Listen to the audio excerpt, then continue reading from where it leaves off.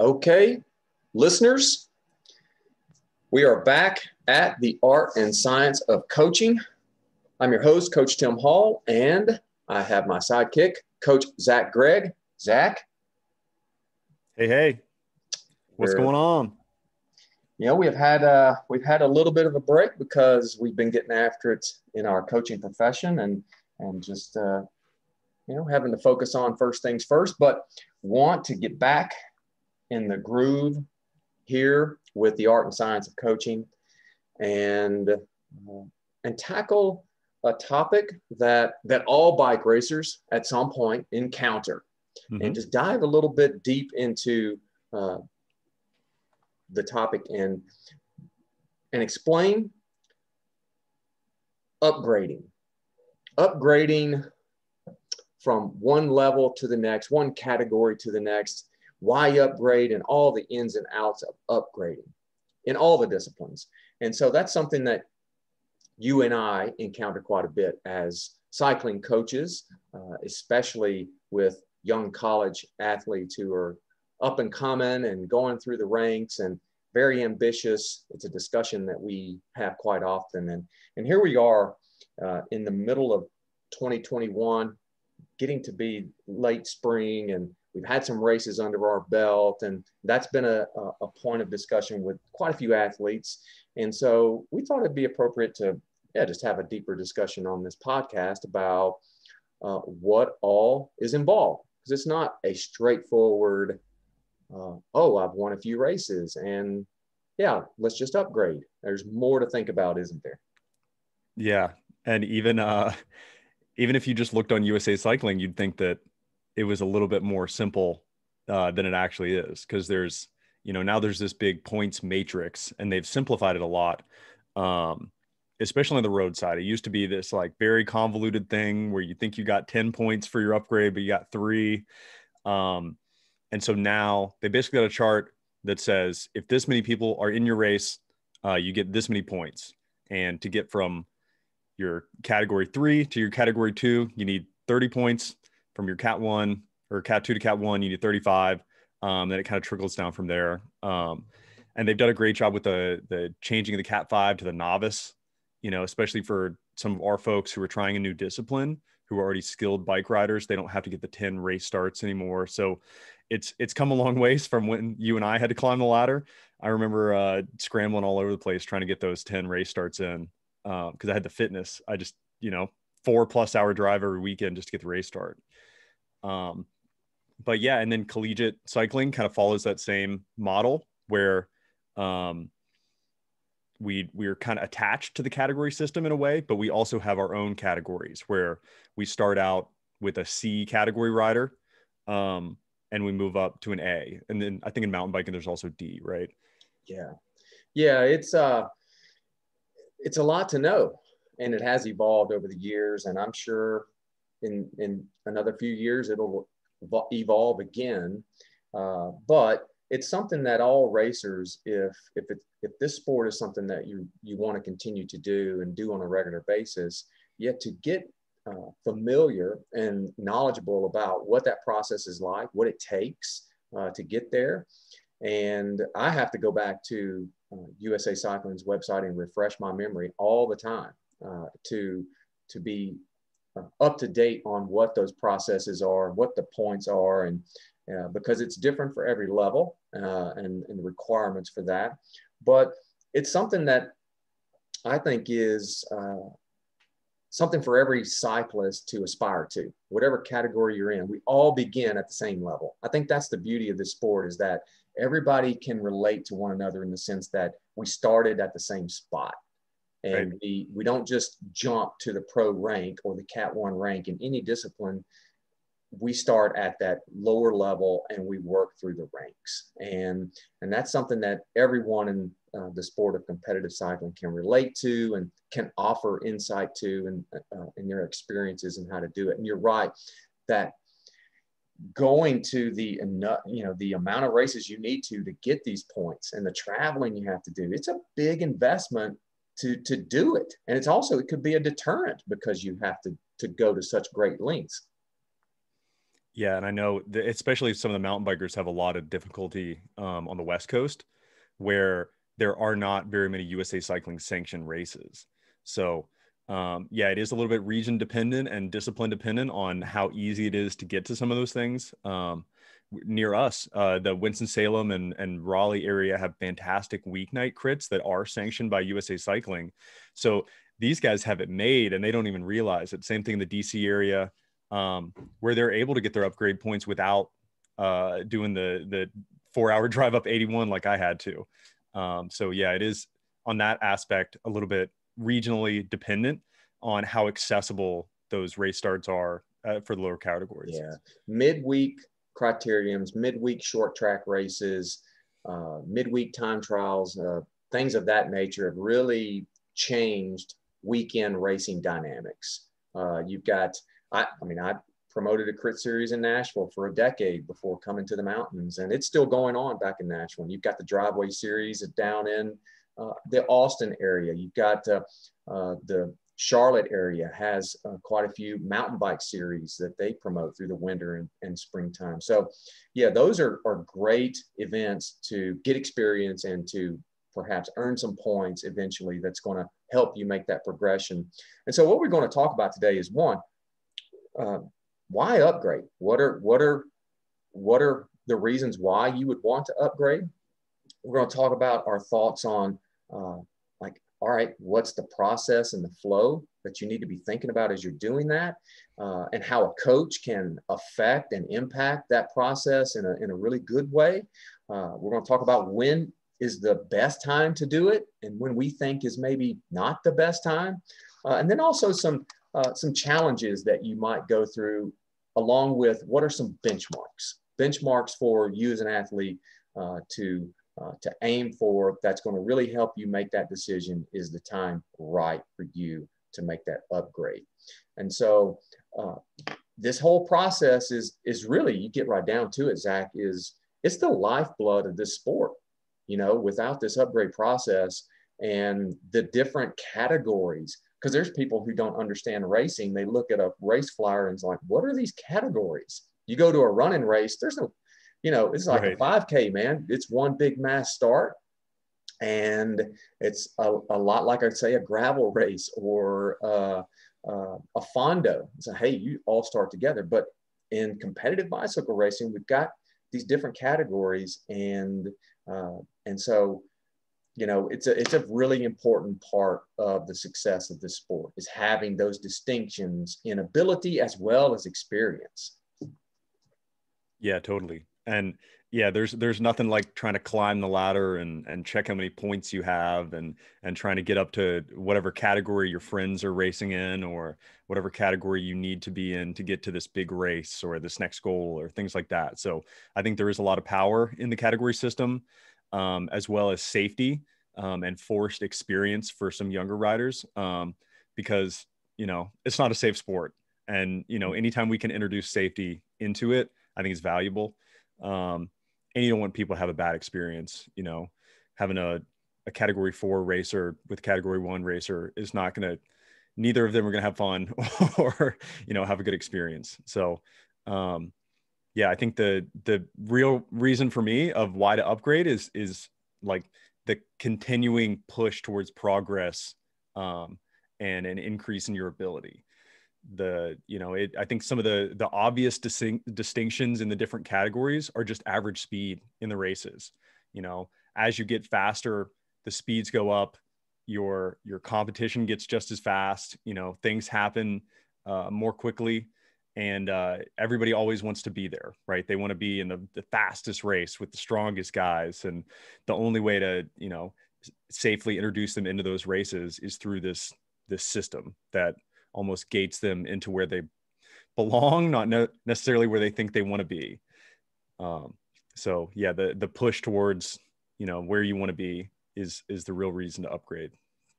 Yeah, big new challenges is key. You know, right. having a challenge ahead of you that's just tougher than what you're going through currently. Yeah, I agree with that. And uh, uh, it can help motivate you through all the difficult training that you need to do uh, to prepare for for the racing you're going to to get into. I think something else about uh, why upgrade would be uh, say you've been in this sport a little bit and you're a part of a team, and that is your teammates need you at that next level. You know, they need a little bit more depth in the roster to to have one more rider who can cover a move or make an attack or uh, uh, have a lead out train or just someone to provide that presence because uh, presence gets overlooked in in every shape of racing where it's fun. Isn't racing more fun when you look around? It's like man there's like five other people in my race with the same jersey as i've got you know? There's strength in numbers isn't there? Totally. And that that extends to cyclocross and and downhill and and every discipline of cycling where that representation uh, matters. And the the ability for you and your teammates to have a conversation and experience the same things only raises everybody's level yeah.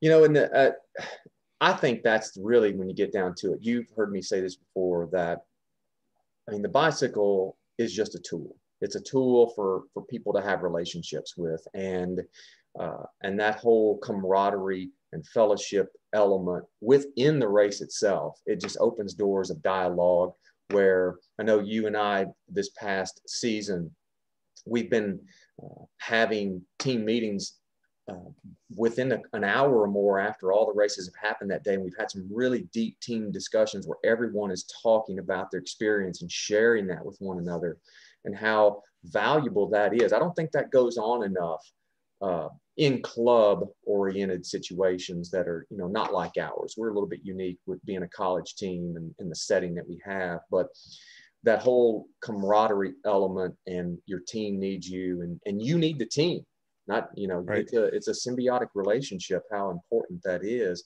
and how how that will just keep you in this sport even longer it's a lot less fun racing your bicycle when you're the only one wearing that jersey in that field. And not to mention a heck of a lot harder.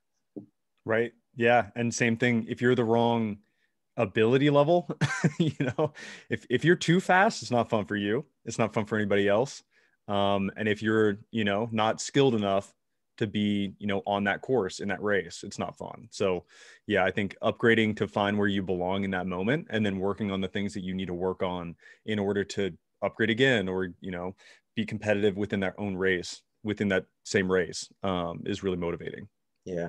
Well i know we've talked before about roles and uh, and that's a whole other discussion another podcast about not only what are the various roles a teammate can play uh, in a race uh, but also uh, you know what are the tools it takes to be successful as an athlete in this sport as a team in this sport uh, another thing that kind of jumps to mind about why upgrade and this is one of those knocks that you you kind of you kind of see in memes and uh, people joke at one another and that is uh, man don't be a sandbagger yeah. don't don't just flat out sandbag a category for years and years and years you know, it just that doesn't do you any good. It's not.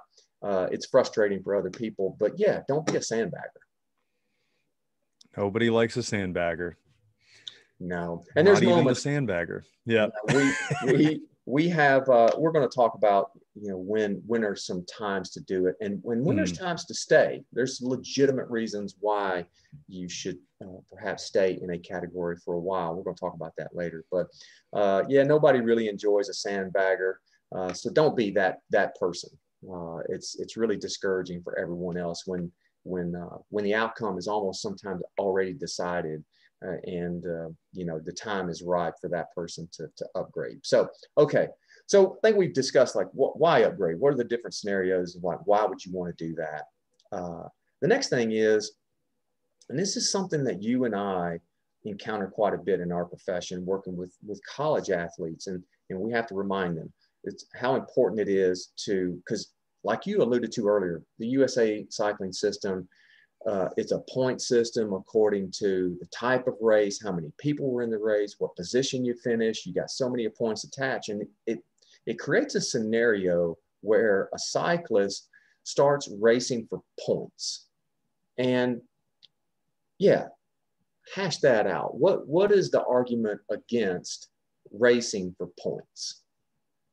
Right. So I think the the racing performance um, issue is when you start doing math in your head, where you know how many how many people can beat me, um, and I still get enough upgrade points, or you know what what's it going to take? Oh, I'm I'm good with third because I get six upgrade points, or things like that, and it really distracts from your um, ability and your situation awareness when you're focusing on racing for the win, and those are the situations where you're actually going to to learn more is uh, putting yourself in an opportunity to either win or lose um, and not you know get six points or three points kind of thing. Um, and yeah that really gets lost on on some people especially when they're in the thick of it. They've been you know racing and training and doing all this stuff and they're just grasping for those final points. It's very easy to play it safe when those are actually the opportunities where you're most experienced within your category and you should be going all in for either winning or losing. Um, we talk about this all the time, um, even on yeah my team at a high level. It's like, man, why did you get sixth? It's you know we're we're not we're not in the market for minor placings, um, and that goes all the way from you know the first time you race your bike to you know the top of the sport, the world champions, all that stuff. It's you race to win the bike race. Um, and I think that's important. And we have to remind people all the time of that because, you know, they want to climb the ladder to get to a place where they feel like they can make a bigger impact. Well, the biggest impact you can make is to win the race you're in, you know, and then if that doesn't go right, you win your group. Or, you know, if you go all in and it doesn't work, then you get 47th and it's fine because you grew a lot in that moment instead of settling for fifth place because you needed three points to upgrade. Hmm. That's a great point, and you see it happen a lot. I, you know, the the phraseology I always use is just race the race. What's the moment giving you? Race that moment, and and and try to take yourself beyond that moment. You know, what is that opportunity that you have in front of you? Race the race, and if you're doing all the right things in your training and making good decisions in that race, then those points are going to come they're going to naturally occur. You're going to get what you're supposed to get. And I love to, to tell our team, and not that, you know, win, winning, winning is great and it's a validation and good results are validation. Uh, but I like what you said about, you know, win your group. Whatever mm-hmm. group you're in, it doesn't matter if you're racing for fifth or first or 25th. Be greedy. Be greedy because you're going to learn something through that experience. It's going to make you that much better. So race the race, race to your strengths, and and then go beyond yourself some way, somehow, in a way that you haven't before. And and yeah, don't go into any event and say, oh man, all I need is five more points and I can apply for the upgrade. And and then because what it does is that you then race to the lowest common denominator. Right. And you will accept whatever's going on as long as there's this hope of you getting that placing you need for that thing, uh, for that upgrade. And so don't race for points. Those points will happen over time. Race the race, race to your strengths, and just push yourself. And, and over time, uh, you'll end up where, where you're supposed to be. Oh, so, yeah. all right. So there, we've touched on that. We why upgrade, race the race, don't race for points. Now, here's the biggest the biggest key area I think, and that is how valuable is experience? Let's like, man, the actual totality, cumulative effect of racing experience, just how and, and, and what all that really means. Not just saying, well, I did, I've done 20 races or however many races, because the quality of those race experiences is what's really going to add up over time. Right. Yeah. And I mean, you see it all the time where people have been doing the, the points uh, hunting or, or things like this where they're they haven't put themselves in in the position to win the bike race or they haven't put themselves in tight hard fast situations and they haven't gained the experience that we're talking about um, and they get to the next category and they struggle. So that that experience um, you can't find it in a youtube video because i tried. You can't mm-hmm. figure it out on your own training. Um, you can barely do it in a group ride. Um, those you know race defining moments finding you know feeling out a situation where oh yeah this is the correct breakaway or you know i now understand how to move through the middle of the group because you know we're stuck in yellow line situations a lot of the time um, and they can't move up the sides or not that much space. All these things um, that you can only get in racing situations that not only make you a better racer but also make you a safer competitor. Um, so yeah I, I think the the situation where you're almost mandated to do 20 or 30 races even if you are super good by the time you get to a category one level um, is super valuable because you can't fake it. Um, you have to you have to fail in those situations to learn and you need to learn in order to be able to compete at the next level. Well you've you've heard me say before i'm a big believer in you have to live it to learn it there you go and uh, you and i can talk till we're blue in the face but uh, there's no greater teacher than uh, actual experience and oft more times than not it's it's a failed experience and that's what teaches you the most and through that you know the key is you know to be bold just be bold.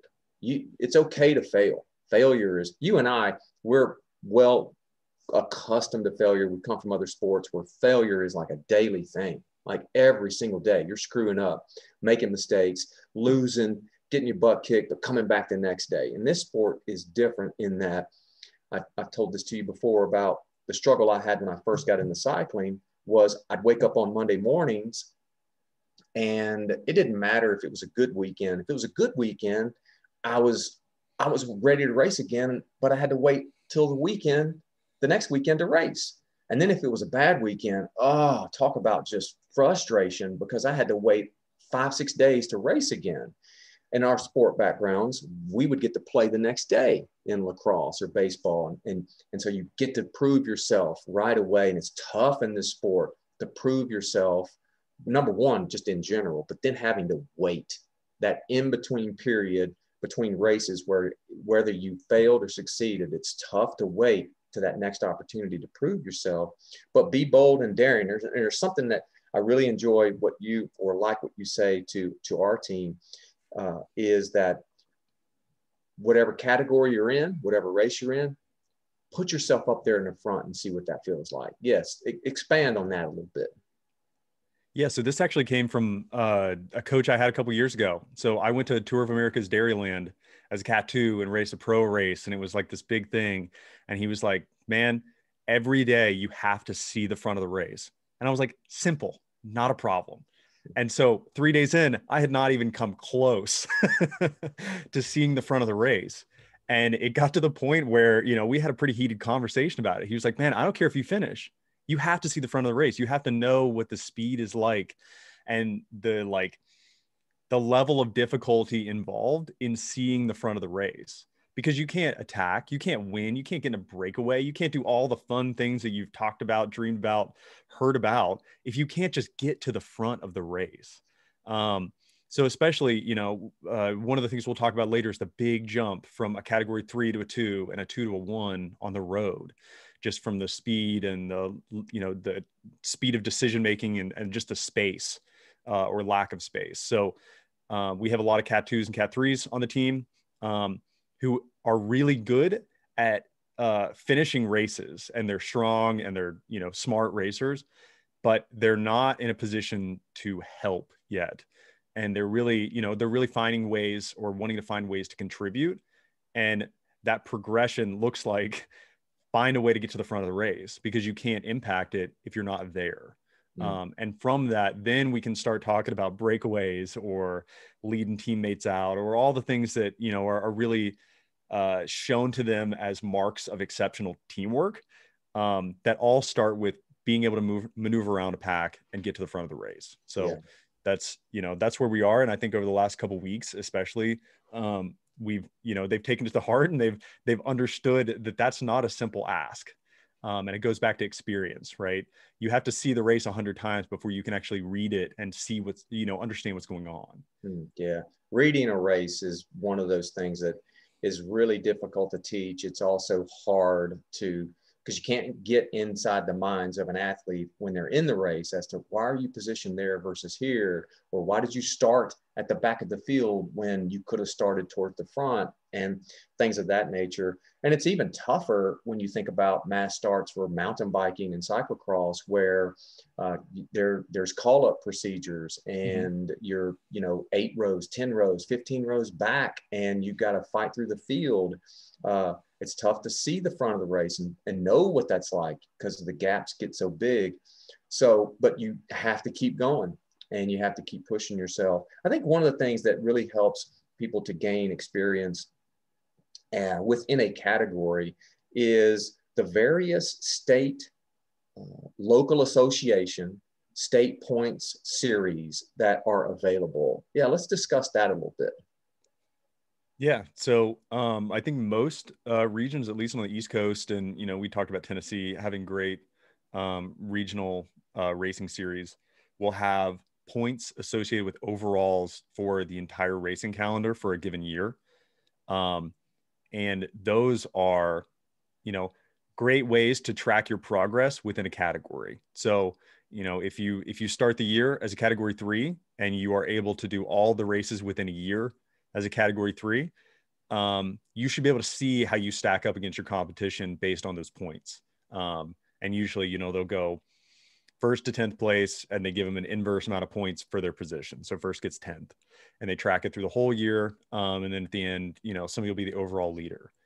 And I think, yeah, especially for people who had either upgraded in the off season and they're set in that category and that's, you know, where they belong and they're competitive and they're not just like, they didn't just win the first three races um, it's a great way to track their progress for, through a year. Um, I know the Mid Atlantic has uh, Mabra um, Road Cup, which is very competitive um, on both guys and the girls side. Um, and then Virginia Off Road Series. There's you know all kinds of different ones um, in Virginia for for mountain bike and XC and the enduro calendar is fabulous at this.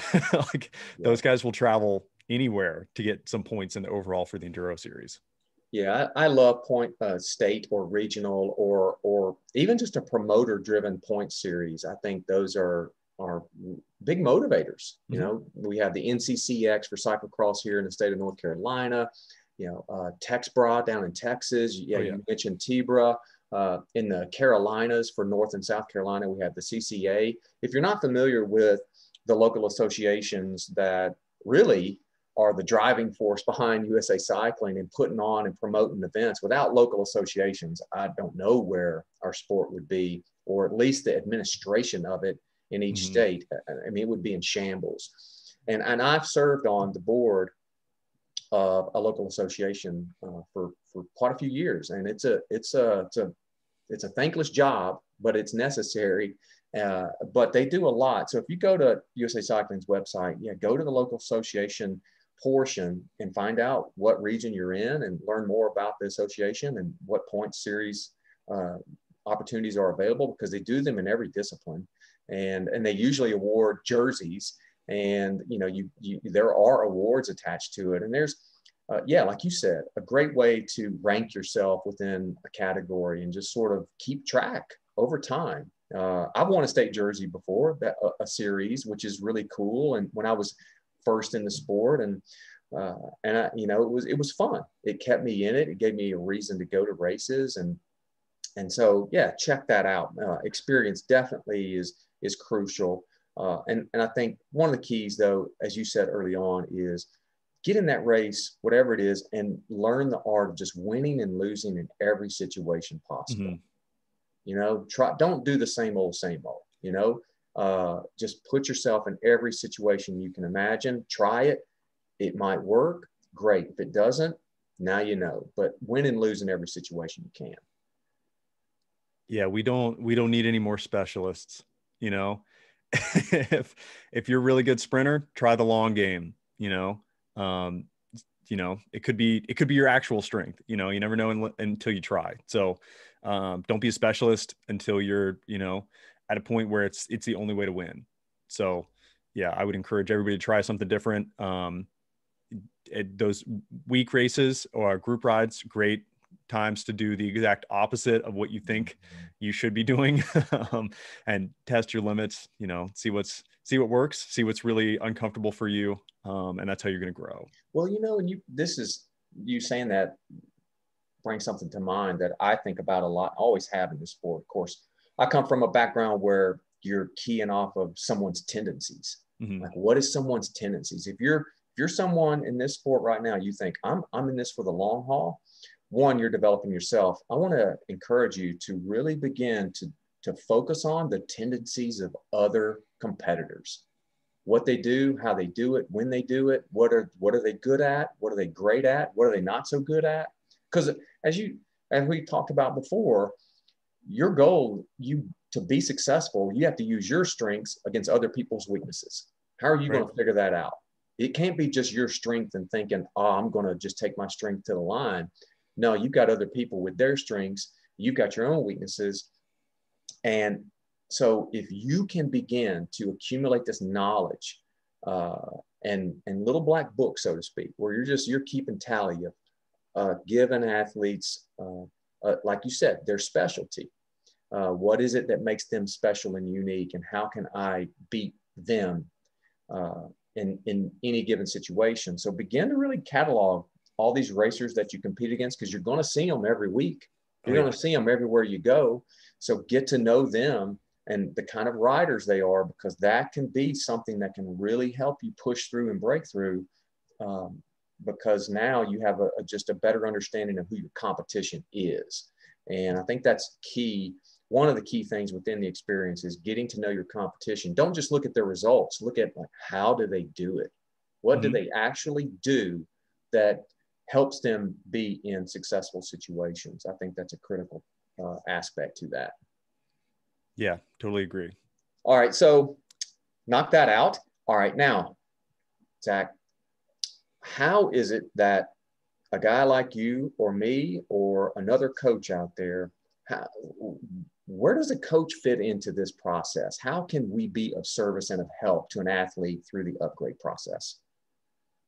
Yeah, I think we can offer some level of objectivity um, and benchmarking for our athletes where um, they can kind of relay their race experience to us and we can take out of that what they either need to work on or um, you know what what they did well and i think you know it's it's also difficult for us uh, uh, almost training these folks on the verbiage to use and how to effectively relay what happened in their race um, so that they can paint us a picture and then we can provide feedback. So, um, in those earlier categories, um, the the lower categories, I think it's very valuable having someone almost lead you into certain questions and have you be able to answer that no, I did not drink a full bottle in a three hour race. no, no, I did not eat or fuel or position myself well, or, you know,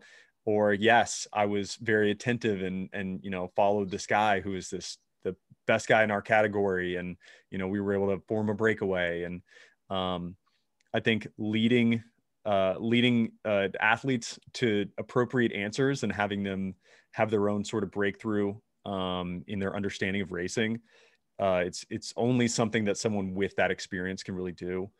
Um, we can also, yeah, on the benchmarking side, before and after racing, um, say, you know, hey, I want you to do th- these three things during the race. You know, for most people, it's eat, drink, get to the front, and um, and then afterwards, you can have that discussion. How many of those did you do? Right, two two out of three, or yeah, I did all out of all three. You know, I I fueled, I was at the front, I had a great time um, you know, I, and then what did you learn? So, um, I think we can offer that sense. And then as, as they get more experienced and those, those moments become a little bit more divisive and, you know, the, the microscope is out instead of the magnifying glass or looking at just this big broad picture. Um, we can start having those, uh, those moments be like really valuable to their uh, racing, uh, library of situations intellect whatever you want to call it but um, yeah at, at, every level we can offer some objectivity and some goals um, and prepare them and you know help figure out what they actually need to learn and then teach them how to relay it to us. Yeah. Well, perspective. Yeah, Just sure. Really give that at bring that objective view, ask the right questions, and like you said, yes, the the answers they need to come to their own answers. Really, we can give advice and counsel, but it goes back to that uh, you have to live it to learn it uh, approach, and that perspective that we can bring to them uh, to help them to better understand. Uh, and I think you know one of the other things is every every athlete at some point uh, especially a cyclist, it, that they're going to encounter obstacles. They're going to hit walls. They're going to get frustrated. They're going to scratch their heads and wonder, what in the why in the world am I? What's what's holding me back? And, and it's always us. We're always holding ourselves back in some way. It's not someone else. It's always us. And so what a what a coach can do is help you uh, overcome those obstacles and give you perspective on on what they've seen in the past and and what they have seen that works, what doesn't, but help you overcome and get through those obstacles that you're encountering because you're going to face them at some point. Some people it it may not happen until they get to the pro level, or it might happen right away in the sport. You know, when you first start. Um, but you're going to encounter obstacles, and a coach can can help you maneuver through them, can talk you through them. Uh, you know, I'm a big believer in in finding out where the edge of the cliff is, and sometimes you need to jump off that cliff as an athlete. You need to jump off and find out, you know what, can I land on my own two feet? And there's other times where you just need to get close, and a coach can help you know the difference between those two moments. Like you said, that your, your previous coach told you that you got to go to the front of the race. You got to see what that feels like. You need to go there. Um, and so sometimes that's what we need. We need that voice of reason from an objective person to say, hey, yes, you can do this. Here's how you can do it. Try these things or or or sometimes as a coach one of the replies i like to ask is well when i'm asked a question about a given thing is well what do you think? Right. You know what do you think about it? It doesn't when you get down to it, it doesn't matter what i think. What matters is what you think and how you're going to process that and how you're going to feel about it. So helping a coach can help you overcome obstacles give you perspective. And i love what you said about just that objectivity because we can be our own worst enemy. Uh, and we can also be our, our own best friend and we can treat ourselves the best, which is what we want to do, but we also can be uh, too tough on ourselves sometimes. And a coach can just say, hey, hey, you know, it's going to be okay. And you're better than you think you are. Uh, and so, yeah, just um, helping athletes get through the, uh, the minefields of athleticism and sports and and how to overcome obstacles i think is a key element. I know the coaches that i've had uh, not just in cycling but in every sport boy they they've really that role alone right there has really helped me push through to various levels of the sports that i've been involved in. Definitely. All right. Now let's say man you've done all these things and you you race the race, you've got some results, got tons of experience, and you know your coach is is really guiding you in the right direction. Uh, all right, when do you do it? You know, when is the when is the right best time? Uh, what are the considerations for when you do it? Because it's not just a simple, ah, I got the points. I'm going to put the upgrade in and bam, then what? So, what, what are the best times, or what are the outcomes or situations of when to actually apply for the upgrade, and what considerations should they should they have? Mm-hmm. Well, yeah, I've always um, kind of split a typical road season into like three parts, right? So you get your off season, um, then you have the first half, and then there's kind of a natural break in July and like mid August where it's just hot and miserable everywhere, and nobody really wants to race and then you got kind of this fall season that's a couple months. Um, and so i always kind of recommend people to upgrade like either you know in in the intermediary between those seasons right? So if you're going to uh, you've you've got enough points and it happened at the last possible second in the year you know then you would upgrade in the off season um, which is really tough ask. It's probably probably the most difficult way to do it. Um, and we'll go into that in a second. But you know, ideally, you would have a really strong first half of the year, um, and then upgrade um, during that kind of like off middle of the middle of the summer off season and then have two or three months to race in that new category at the end of the year um because that really helps calibrate your expectations going into your true off season where you can put down all this work and you know show up ready to rock and roll in that new category at the beginning of the year so um, i think there is kind of a flow to it i would not recommend just upgrading on a tuesday and going to race on a saturday um, unless you know you were just super ready for it. You know, there there are some uh, guidelines on USA Cycling where they just like mandatorily upgrade you because you've done so good in your category up to that point.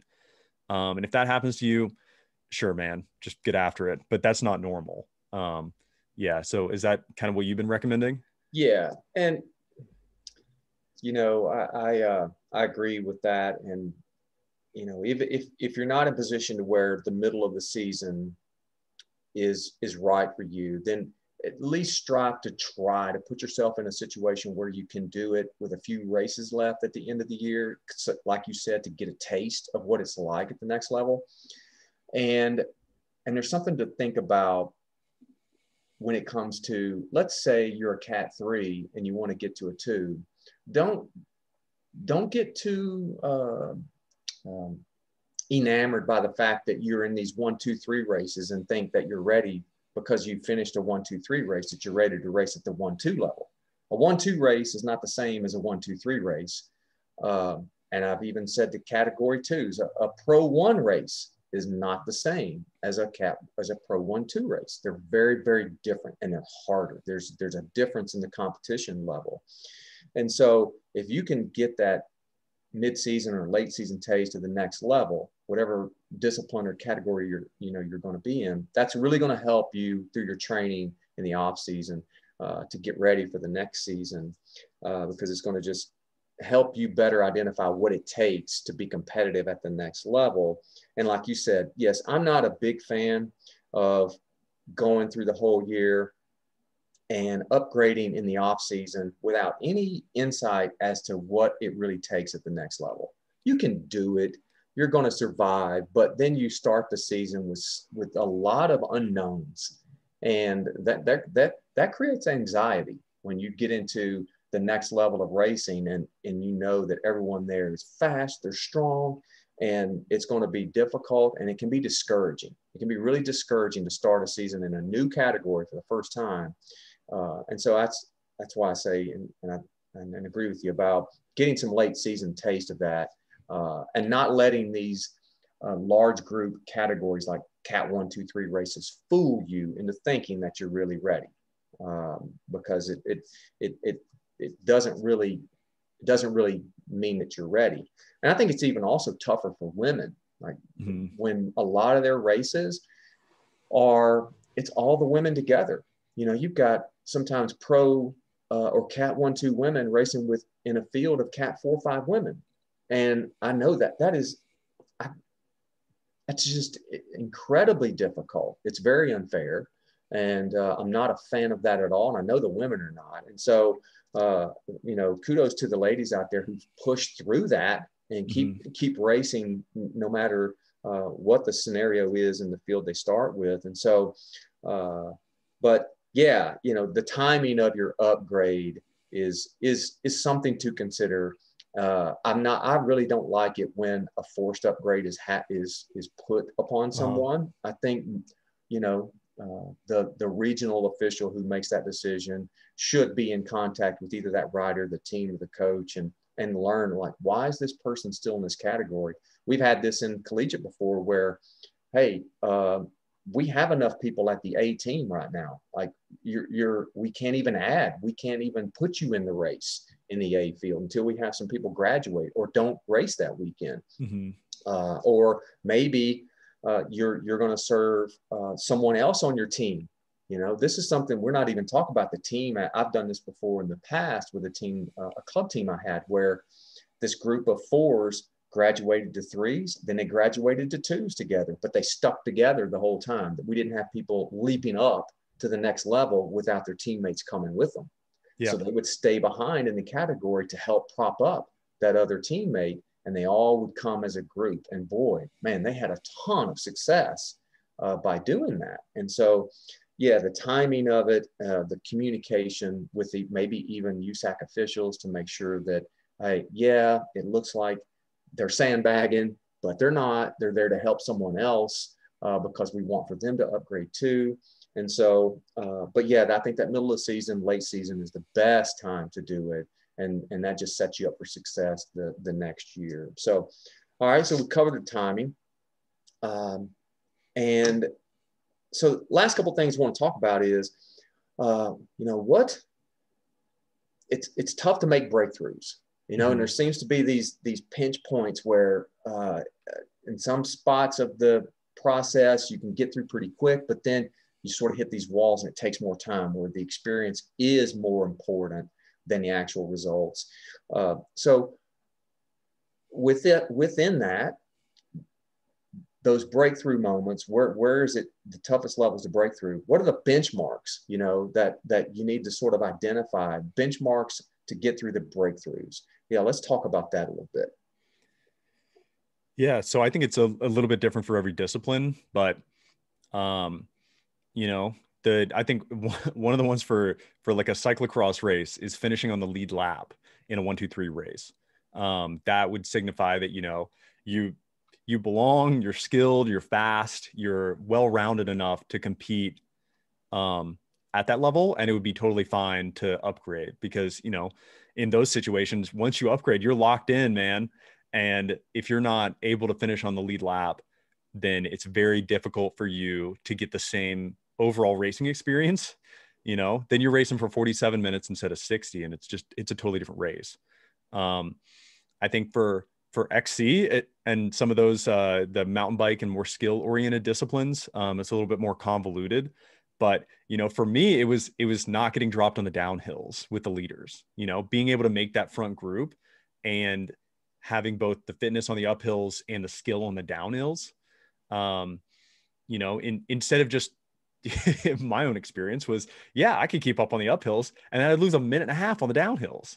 You know, mm-hmm. I did not belong. I didn't uh, like, I was not skilled enough to upgrade, right? I wouldn't have contributed anything to a higher level race. Um, the big thing in on the road, I think, is is being able to move from the back to the front of the field and participate in the race. You know, forming a breakaway, uh, being part of a sprint finish where you're not being a hazard to people around you um, is actually a you know a, a true skill. Um, and that would to me you know signify yes i'm i'm ready to upgrade from a three to a two or a two to a one you know uh, winning local races and regional races uh, across any discipline is kind of my benchmark for upgrading to the the highest category of racing in your discipline. Um, because the level is going to be so much higher at those marquee events, right? You don't want to send someone who's only, you know, had moderate success at the local stuff to a national championship. That's that's a great way to spend a lot of money and be really disappointed. So, um, those are kind of mine just off the top of the head.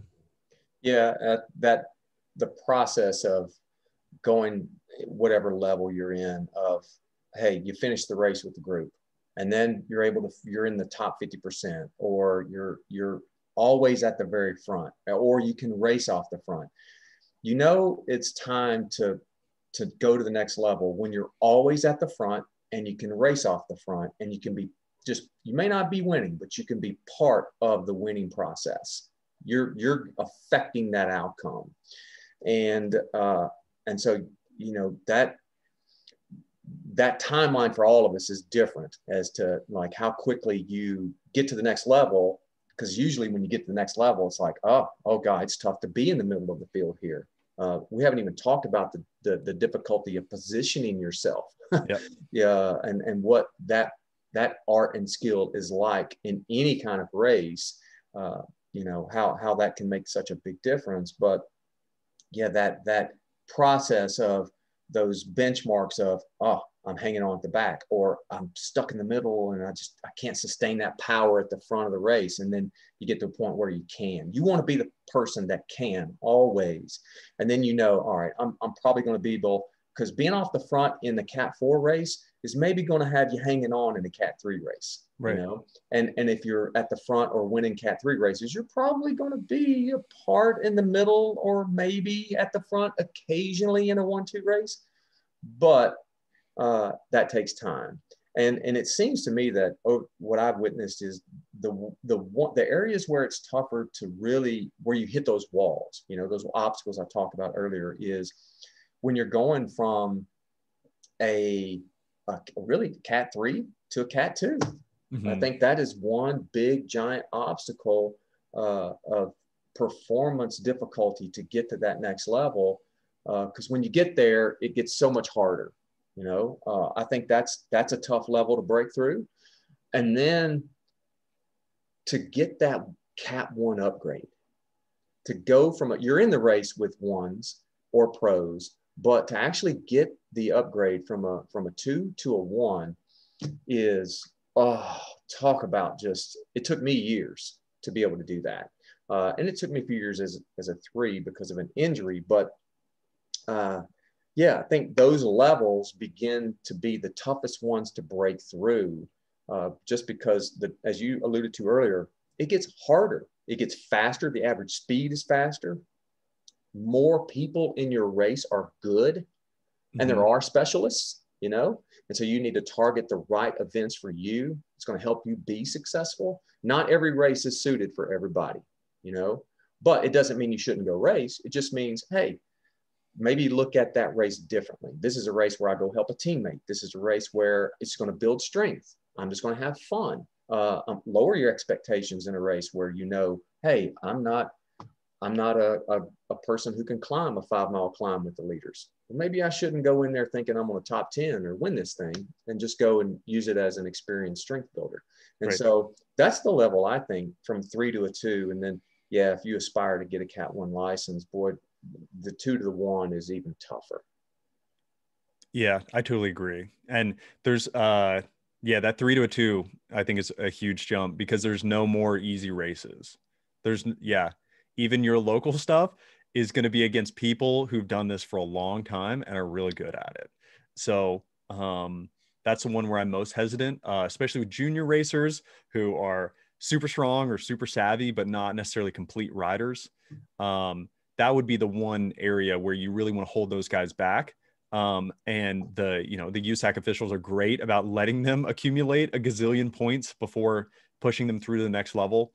Um, we could probably do a whole podcast on development just just talking about junior category three to a two, you know, um, because there's so much to it. And I think uh, yeah, it's it's it's an adventure for for those guys, and and that's definitely the biggest jump.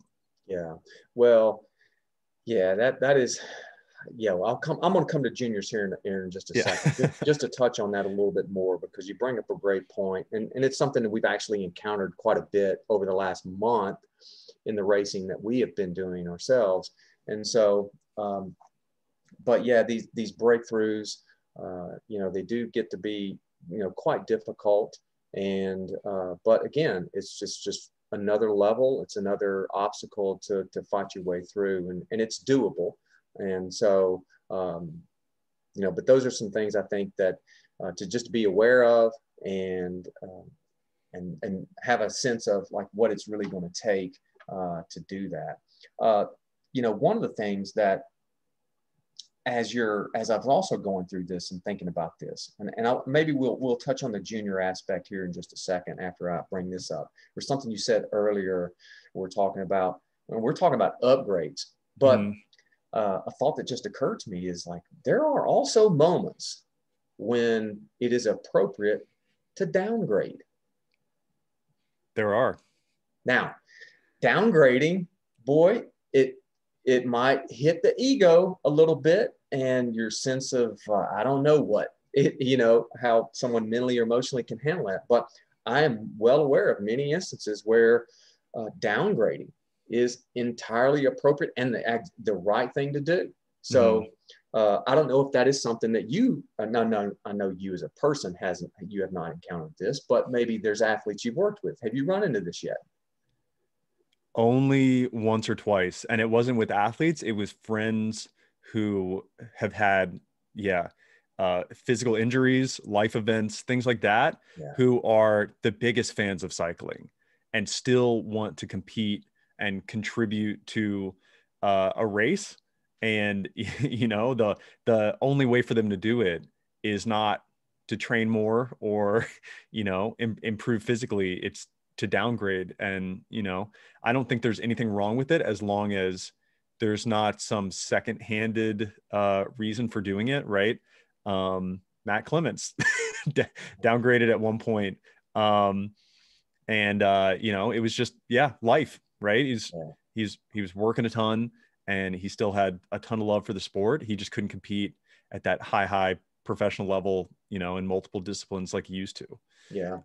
Ordinarily, uh, if if you're if you're youthful, if you're younger, if you're say under four under under fifty, uh, it, an injury is involved. There's there's definitely s- situations where an injury has really set you back, and you know being at that next lowest category is definitely appropriate because one, the injury affected you. Two, your training going into things uh, may have been really difficult, and you know you're not able to to really hit your stride.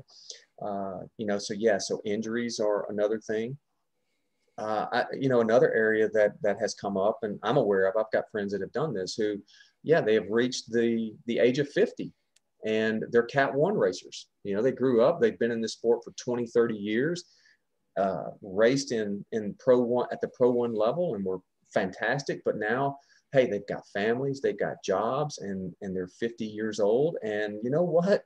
Being a cat one is uh, at 50 is i can tell you from firsthand experience it's not like being a cat one in your 20s or 30s uh, and so yeah they downgraded to to be able to do these various masters 50 plus cat 3 4 races and and and or, or just a, a cat 3 race. That's where that's where they're at in life. And i think it's entirely appropriate to do it. And if you're if you can just sort of accept that that's where you are in your life and, and that's the thing to do, then do it. And there might be, and I've had this happen where you downgrade because of life that you're going through, but then you re upgrade. Mhm. And that's the right thing to do too. So you can get back there. So don't ever feel like, man, now, now listen, don't be downgrading just because you've been lazy. yeah. Right. That does not count. You do not get to do that. There is no downgrading because of laziness. And I tell you what, isn't it funny how the category process it keeps you honest. it does. It's like, hey man, because one of the things we talk about with these benchmarks is as you're upgrading, especially from say a three to a two, the miles go up. Yep. Man, They go up big time. You do an extra big loop of that lap on on the road on the rate, uh, road course. XC the race. Uh, now that XC race is another lap. You got to go up that climb one more time. Cyclocross, you got 15, 20 more minutes you got to race. And boy, there's I tell you, I've told many people whether it's a cross race or uh, say a mountain bike short track where that that time you think, oh well, my my cyclocross race is 40, 45 minutes. 60 minutes is nothing. or a 60 minute crit is nothing versus a 45 minute crit. And that extra 10 or 15 minutes is what will crack you into just a million pieces. Yep. And that's not to say, that's not even touching on the difference between a 60 minute Pro 1 2 crit or a 90 minute Pro 1 crit. Massive. Not even the same discipline. No. No, it's a different world. no. And so look at those benchmarks. Those are those are benchmarks. The what is on the race flyer? Hey, you got an extra 20 miles to do in this race. You ready for that? Uh, so your preparation is going to be key. But those are some benchmarks to to look at what is the next level doing. You know, what is the actual race asking of you? I've got to be ready for that. You Mhm. know, those are those are another uh, benchmark. So yeah, downgrading is appropriate.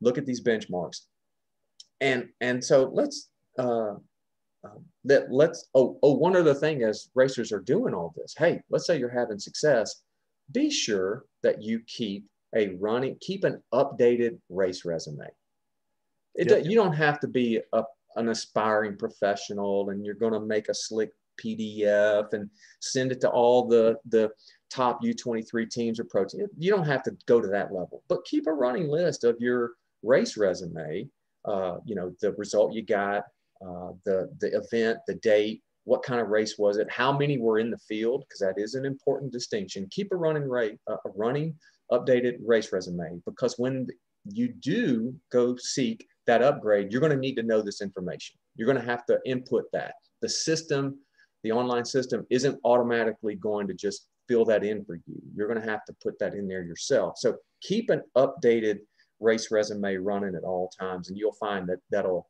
that'll make things easier for you when the time comes to upgrade. So, okay, last thing, uh, juniors. Uh, we're let's not go deep into this, mm-hmm. but you know, let's let's definitely. I love what you said about uh, juniors getting their own race experience because I'm a big proponent of peer groups. You right. know, peer groups racing with one another, such as the collegiate kids the collegiate kids are racing against collegiate kids. That's the beauty of collegiate. So you look around and like these people are like me. I'm I'm 19, uh, and the and the oldest usually the oldest person you're going to go up against is like 23, maybe 24. Uh, and so with juniors, this sport can really uh, really help them, or it can really damage them in a way where if they're constantly going up and competing with adults who are much more mature mentally and emotionally uh, and physically, because juniors physically could be right there or above or ahead. Uh, there's lots of them, but mentally and emotionally, they're just not ready for everything that's going to be thrown at them. Yeah, just maybe what are some things that a junior should think about? And if you're a parent of a junior, uh, what what considerations should you give?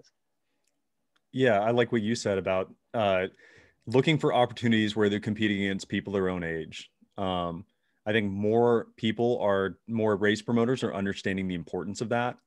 Um, and having true junior fields that do maybe two thirds the distance of a one, two, three race um, is really impactful, right? They get a full racing experience, but they're not out there for three and a half hours. Um, they don't need it, you know. Um, whereas, you know, then they they can take those experiences and you know if they're having success at that level then they can move into the like true category racing and and see where they stack up but having those experiences against their own peers um, is really important. Um, they don't really put category limitations in those junior fields um, which is one of the reasons you know that sometimes they're all spread out across the road or you know juniors might want to do the one two three races um, instead.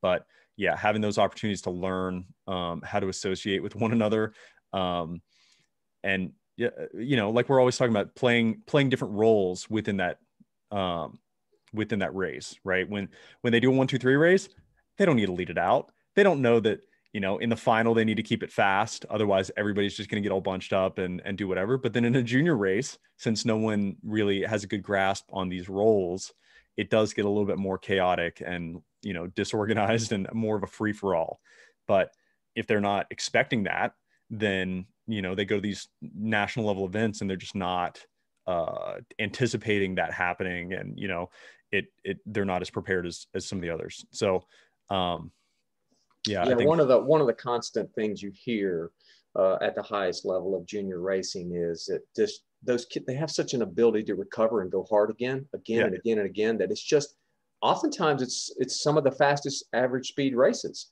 mm-hmm. because they just go hard until they can't go hard anymore and uh, and and you know and, and when you're you're young you're young and, and you just don't like you said don't know these different roles and and the depth of the field and and the uh, the teamwork that it takes at the higher levels in these categories may not be uh, applied in the junior ranks uh, you know, th- those are things that they need to learn. But yeah, I agree. I think the one area of the sport where they're really doing a good job at this, though, is in NICA. You know, the NICA, yeah. the NICA series at, in the state levels and the different categories that they have and the way they do it really helps people to be within their peer group. Uh, and they're very supportive of, of riders' mental, emotional, physical development, and it really keeps things in check. And I just feel like uh, you know you want we want to we want to help all the young kids come along in this sport the best way and it's kind of tough when you know you get into these higher level races and the kid you know a young kid is strong enough is clearly mm-hmm. strong enough but then maybe they're not ready for uh, the just the physicalness it takes to be in a race like that. Right. I mean, you're, you're a grown man. I'm a grown man. And, or you say you're a young lady and, and you're, you're going up against grown, mature women and the conversations that we have. And, and it's not that we're out there intimidating our components, but, uh, but our size, our stature, our demeanor, all those things really play a part in the experience. And I think the more we can have kids racing against kids and old men like me racing against other old men and and and the true you know the heart of the sport uh, you know the youth uh, just the yeah the different peer groups racing against peer groups i think is critical to the development and long-term uh, sustainability of the sport but also the length of time that someone's going to stay in this sport i think it right. plays a big role in it and and you know, because we often say, you hear this said at, at races that you know, how juniors is the future of racing. And, and to, I partly agree with that. I don't, I don't agree with it entirely, to be honest with you. Um, just because the system and the, the way that junior racing is set up, it forces them into the situations where they're racing against you or they're racing against me. And it's not really good for them in this moment when they're 15 to 18 years old or younger.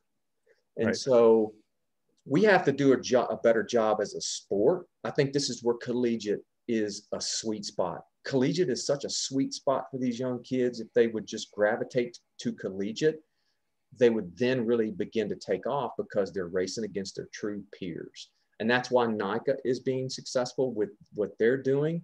Uh, I'd like to see our sport be able to do that uh, with juniors better. Um, I don't, I, I, have some ideas on how to do it. it, it it's kind of harsh probably to, to maybe do that because then you would force juniors into junior racing instead of category racing. I'm a little uncomfortable with that too. So there's got to be a better way though. I think everyone should agree. There's got to be a better way to really prop up these juniors and grow juniors where we go to a race and we were racing this past month in mm-hmm. pro 123 fields that had 100 to 150 people in it well the junior field had maybe 20 but a lot of them were racing also in the 123 field well how great would it be if that junior field had 75 to 100 to 150 while a completely set a different group of people were racing in the 123 field I think right. where that's where we need to go. That's what needs to happen. And, and it all is all going to, is going to start in how we really treat these kids when they're younger and how we really foster their development, not just juniors, but then pull them into the collegiate ranks and help them grow and develop around their peer group. And then if we did that, I just think they would, you know, get into their mid 20s and be crushing people. Totally. they, they would be crushing people. So anyway, all right, man, we have, I think we touched on just about everything there is to talk about when it comes to upgrading. Have we forgotten so. anything? I don't think so. I don't. Somebody will tell us. yeah, we will hear from somebody who says, "Oh, but you didn't talk about such and such." And hey, if we miss out on something, uh, we'll talk about it later on. But all right, well, there's a lot to digest there about upgrading and all the different aspects to it. Uh, I hope you're able to take away uh, from this something for yourself. Uh, you know, we go into these podcasts and uh, discussions knowing full well that not everything we say is for everybody, and that maybe uh, you've already uh, been through this or digested that, but hopefully there's at least one, or two or three things that you can take and go, oh, all right, I hadn't thought about that and apply it for yourself to help yourself get better, get to the next level, uh, and grow in the sport and stay in the sport. That's the real key is that you you stay in this sport uh, for as long as possible and get out of it what you need to uh, get out of it. So, all right, Zach, that was a good one. It's in the books. I believe so. Yep. Okay. All right, folks. Thanks for tuning in to the art and science of coaching. Until next time, adios. See ya.